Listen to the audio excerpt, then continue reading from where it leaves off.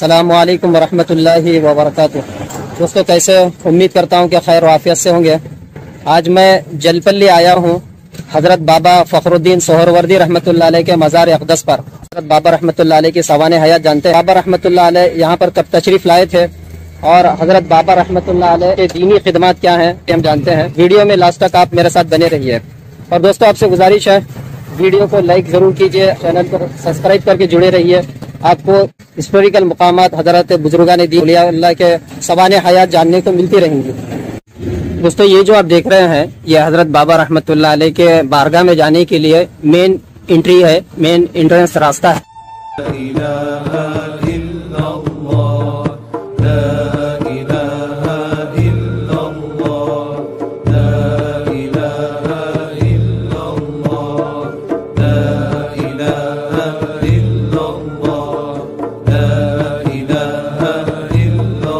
हज़रत बाबा सैयद फ़खरुद्दीन रहमतुल्लाह मीठे शाह वली सोहरवर्दी रहमतुल्लाह हज़रत बाबा शरफुद्दीन सोहरवर्दी रहमतुल्लाह पहाड़ी शरीफ के हमराही इराक से दीन इस्लाम की तबलीग व इशायत के लिए हिंदुस्तान तशरीफ़ लाए और भटकी हुई इंसानियत की रुश्द हिदायत के लिए सरजमीन दकन में वाक़ जलपल्ली पहाड़ी को मुंतखब फरमाया। हज़रत बाबा सैयद फ़खरुद्दीन रहमतुल्लाह अखलाक व किरदार अंदाज व गुफ्तार इल्म अमल इबादत व रियाजत व मुजाहिदात तकवा और जज्बा खिदमत खल्क में अपने बेनज़ीर पीर मुर्शिद हज़रत शहाबुद्दीन सोहरवर्दी रहमत के अक्स लगते थे हज़रत की विलादत मुबारक इराक में हुई बचपन ही से तबीयत में दुनिया से दूरी का रुझान था विलायत आपकी तबीयत से झलकती थी।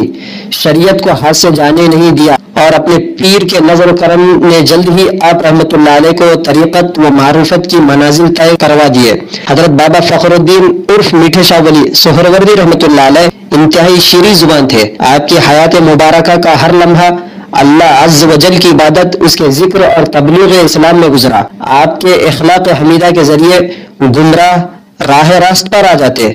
आप रहमत की हस्ती दक्कन के खास वाम के लिए खैर बरकत बनी हुई थी। दक्कन में तशरीफ़ आवरी के बाद हज़रत बाबा फखरुद्दीन रहमत ने जलपल्ली के पहाड़ को अपने क्याम के लिए पसंद फरमाया और वहीं से ज़िक्र असकार, वाज नसीहत का सिलसिला जारी किया।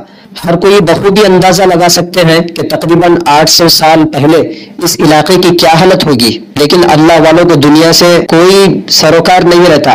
बस अल्लाह ही से इन्हें वास्ता रहता है। जो अल्लाह ताला के हो जाते हैं, सारी मखलूक उनकी हो जाती है। आप मीठे शाह वली रहमत इसलिए मशहूर हुए क्योंकि आपको खाने में मीठी चीज़ें बहुत पसंद थी।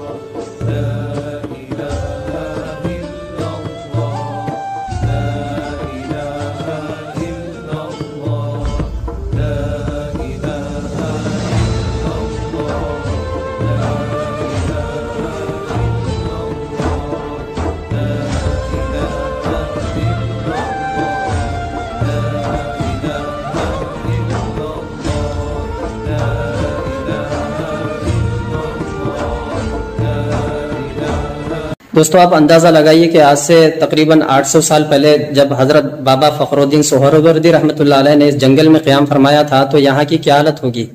उस वक्त में दरिंदे, चरिंदे, परिंदों का यह मस्कन हुआ करता था। हज़रत बाबा रहमत ने यहाँ पर आकर दीन की खिदमत अंजाम दी है। दोस्तों, जितने बुजुर्गान दीन अलिया के राम हैं, ये अल्लाह के महबूब और मुखर्रब बंदे होते हैं, जिनकी तारीफ़ अल्लाह ताला ने अपने कलाम पाक में फरमाया है अल्लदीन आमनु व कानू यत्तकून लहुमुल बुशरा फिल हयाति दुनिया व आखिरा ला तब्दील अली कलिमातिल्लाह ज़ालिका हुवल फौजुल अजीम के अलिया कराम वो होते हैं जिन्हें न खौफ होता है न कोई गम होता है हमेशा की जो ज़िंदगी है उसकी खुशखबरी अल्लाह ताला इन्हें देते हैं और इनके लिए बहुत बड़ी कामयाबी होती है यह अलिया कराम की तारीफ़ में अल्लाह ताला ने अपने पाक कलाम में इरशाद फरमाया है इसकी वजह यही है दोस्तों कि अलिया कराम जो होते हैं ये अल्लाह के दीन के लिए, अल्लाह के दीन की तबलीग के लिए और अल्लाह के दीन की इशात के लिए जंगलों में क्याम फरमाते हैं और दुनिया को बिल्कुल खैरबाद कहते हैं। और ख़ास तौर से अगर देखा जाए तो जितने जंगल, पहाड़, बियाबान में बुजुर्गान दीन के मज़ारात हैं, उनमें अक्सर सोहरवर्दी सिलसिले से वाबस्ता बुजुर्गान दीन है। क्योंकि सोहरवर्दी सिलसिले में दुनिया को छोड़ दिया जाता है, जहद की ज़िंदगी इख्तियार की जाती है। और सोहरवर्दी सिलसिले में यह खास सिफत, यह खास खूबी पाई जाती है। और इन्हीं के बरसातियों में देखा जाए तो हज़रत बहाउद्दीन जकरिया मुल्तानी रहमत और हज़रत काजी हमीदुद्दीन नागौरी रहमत शेख सादी शिराजी रहमत और बाबा शरफुद्दीन सोहरवर्दी रहमत आपके साथियों में शुमार किए जाते हैं।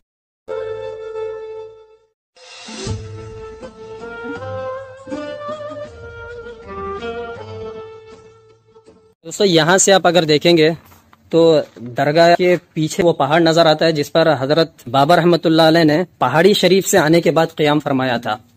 ये जो बुलंद पहाड़ है, इस पर हज़रत बाबा फ़खरुद्दीन सोहरवर्दी रहमत ने क्याम फरमाया था। इस पर वो रहा करते थे। तब अंदाज़ा लगाइए कि इन बुजुर्गान दीन ने इस तरह के जंगलात में क़्याम फरमाया है। ऐसे जगह पर पहुँच कर इन्होंने दीन की खिदमत अंजाम दी है। अल्लाह के दीन को बुलंद किया है, अल्लाह के कलमे को बुलंद किया है। अल्लाह के नबी सल्लल्लाहु अलैहि वसल्लम की सुन्नतों को आम किया है। दोस्तों, ये बुजुर्गान दीन के मज़ारात हैं। और अलिया कराम से मोहब्बत इसीलिए रखना चाहिए कि अलिया कराम अल्लाह के महबूब होते हैं, अल्लाह के मुकर्रब बंदे होते हैं। इन्हीं की वजह से अल्लाह ताला ने अपने दीन का काम लिया है। ये पीछे जो पहाड़ आप देख रहे हैं, हज़रत ने यहाँ पर उस ज़माने में, तकरीबन 800 साल पहले हज़रत ने यहाँ पर क़्याम फरमाया था। और इन्हीं के साथियों में अगर देखेंगे तो हज़रत सैयद शहाबुद्दीन सोहरवर्दी रहमत जिनका मज़ार शमशाबाद में है ये हज़रत के साथियों में शुमार किए जाते हैं, जो हज़रत सैयद बाबा शरफुद्दीन सोहरवर्दी रहमत के भाई हैं।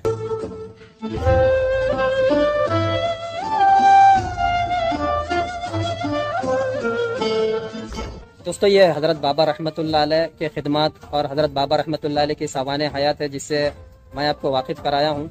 दोस्तों, बुजुर्गान दीन से अकीदत रखी है, बुजुर्गान दीन से मोहब्बत रखी है। इनके जो खिदमत हैं, इन्होंने जो दीन के लिए खिदमत अंजाम दी है, अल्लाह के दीन की इशायत के लिए, इस वजह से ताल्लुक़ और मोहब्बत रखेंगे तो हो सकता है कि अल्लाह ताला आखिरत में हमारे लिए मगफरत का ज़रिया इसको बनाए और बुजुर्गान दीन से एक ताल्लुक़ हमारा कायम हो जाए।